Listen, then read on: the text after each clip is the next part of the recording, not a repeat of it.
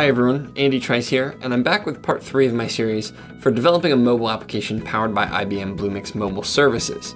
In this video, we're going to take a look at the Cloudant NoSQL database that is offered as part of the IBM Bluemix Mobile Services. First, let's take a look at the app. This version of the app, I'll go ahead and sign in here, this version of the app is using all hard-coded data. You can see, in particular, I've got this list of claims. I'll go ahead and select on any one of those and it goes into another view. We can go back and forth, and, and, we just have a list of information.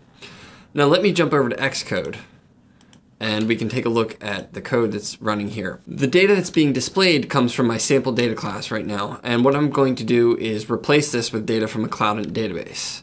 So let me just go in and show you. You can see right now these are just NS Dictionary objects, hard-coded data. Let me switch over to my Bluemix dashboard and we're going to go ahead into the app that I'm working with right now, which is called My Dashboard Test. Inside here, we can see all the services that are being used by my app. In particular, in this case, I want to look at the Cloudant NoSQL database. When you first come in, you'll see the configuration screen. I've already installed the SDK as part of the initial build process uh, covered in video one. But if you were just adding the Cloudant SDK to a project that didn't already have it, you could use CocoaPods and install the toolkit right here. And you have to initial, initialize the app, create an instance of the IMF data manager, and that basically sets up the data manager for accessing data through the Cloudant database. Now I want to go ahead and create a database for my app to use. So I'm going to click on the Cloudant NoSQL database, Cloudant dashboard option, and I want to launch the Cloudant dashboard. Once we're in the Cloudant dashboard, you can monitor all the databases that you have. Um, again, these are highly performant NoSQL databases. Essentially, all of your data is saved in a NoSQL database as more or less a JSON object. You can have revisions of the object. From the API, you can do full CRUD operations. You can create search indexes, and it will be able to scale and it will be able to handle the needs of your application. The first thing we need to do is create a new database for our app to use. So I'm going to select Add New Database, and we'll give it the name Insurance DB and we'll create this database.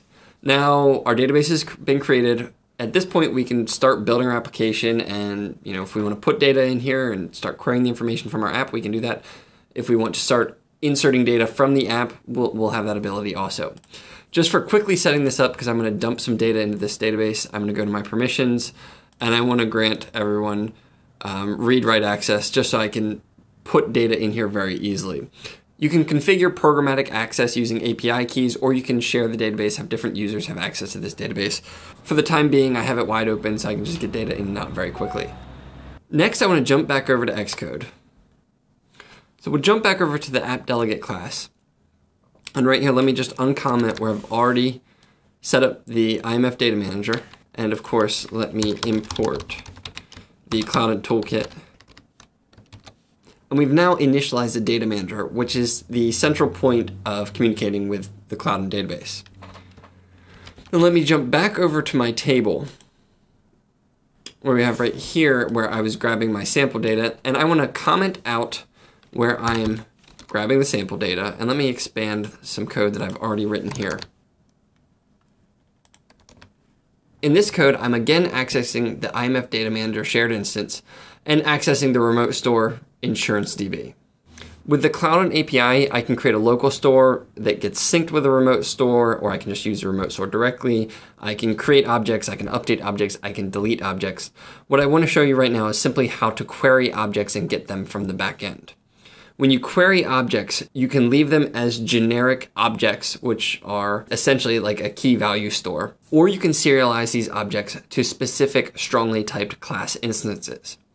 For now, I'm just going to leave them as NS Dictionary objects uh, just to keep things simple, and it works with the hard-coded data that I already have in place. Once the connection to the database is established, the completion handler code block gets invoked, and in here we're going to do a couple things. The first thing I'm going to do is create an index in the database. When I put data in here, I want an index created on the customer attribute. If we jump back to my sample data, which is really what this is going to look like, if you see we have a customer, it's just a text string, it's a name, it's the name of the customer. In the database, I want an index created on this so that we can quickly search based upon the customer name if we choose to. After we've created the index, I want to go ahead and create a search query. To create a search query, the first thing you need to do is create the predicate. The query predicate makes up the conditions that are used in the search, where you can specify a particular value, like I could say, give me the customer named Indiana Jones. In this case, I'm just choosing any cu- customer which is greater than an empty string, which means it's just going to give me all the data that I dump in there, and I'm going to display it within the app. Once you've created the, the predicate, you create a Cloud Query instance, and you can initialize with a particular data type and the query predicate, or just a query predicate by itself. In this case, the data that I'm going to be injecting will have some metadata attached to it saying it's a claim, but if I just left that out and I used the query predicate by itself, it would still function the same way. It just wouldn't be filtering based upon the claim metadata. Once you've created the query, you'll access the data store. And we can see right here, once we connect to the remote store, we're going to get an instance variable of store, which references the, the data store. And we're going to run the perform query function, and we're going to pass in the query that we just created, which is right here. Once that's complete, we'll receive an array of result objects, if there is one, and an error condition. If there's no error, this will be nil. Right now, I'm not checking for the error condition, I'm just acting upon the results that might be returned. Since I haven't configured this code to be serialized to strongly type objects, the results array is going to contain a collection of CDT mutable document revision objects. These represent a revision of the data that's stored in the Cloudant database in order to access the data from that revision, we'll access the revision body. This is going to be an NS object, and what I'm doing right now is I'm just pushing all those generic NS object instances into an array, and then I'm going to set the data for my table that I'm currently viewing, and you can see up here, we're in the claims table view. And this data is going to be used when I reload the data for this table, and it'll be displayed within the app. Now let me stop the app that I already had running and I'll go ahead and launch this again.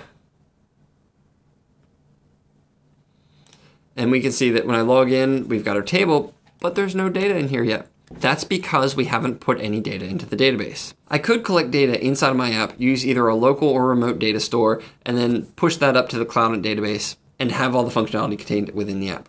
Right now, since I'm only doing a query, so I'm pulling data, I need to put data into that database. So let me jump over into another window where I've already got a script. I'll go ahead and copy this. What this is going to be used for is a command line function that's going to use the curl program to push this big JSON data array into my database that's available at this URL. So I'm just going to copy. We're going to jump over to a terminal and we'll paste it. And now that data has been pushed into the database. Let me jump back over to my Cloud database and we'll look at all documents and you'll be able to see the data now exists. So this is data that I just inserted from that script on the command line. And we'll look at a couple ones. That one was Indiana Jones. This one is Anna of Arundel. You can see I got the names from movies. Now let's jump back over to Xcode. And we'll launch the app again and we'll be able to see data being loaded from the Cloud database. You can see here now we've got our data loaded, and if you reverse back in this video, you'll notice that the data is actually in a different order. This time it's being sorted based upon the customer name, so it's on that customer field which we created the search index. And just to prove to you that it's dynamic, let me go ahead back over to our command line and we'll run this script a couple more times. Now, um, just by running that script a couple more times, we put more data into the database. I'll rerun it, and you'll see multiple copies of each data point because I've inserted them multiple times just to prove you, it, yes, it is dynamic. You can see we've now got three entries for each data point. There you have it. We are now consuming data from the Cloudant NoSQL database, which is part of the IBM Bluemix Mobile Services offering. Stay tuned for the next video where I'll cover push notifications from Bluemix mobile applications.